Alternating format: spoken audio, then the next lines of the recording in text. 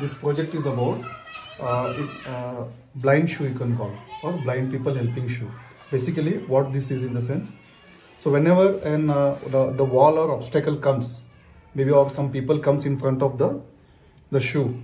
So since we are using here ultrasonic sensor, so which can detect the distance, maybe a 50 centimeter whatever it is based on the program. So what it does, it sends a signal to the microcontroller. It the microcontroller will be reading the distance.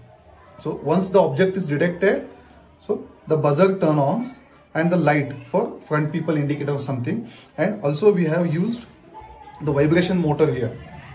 So which indicates a blind person there is a, some distance, uh, so there is some object at the front. Okay. Here components what we are used here Arduino Uno, Arduino Uno, buzzer, LED, ultrasonic sensor to detect object and vibration motor and we are used 9 volt batteries to power this system. So we'll be showing you a demo now. You have plugged, the, the system has started now.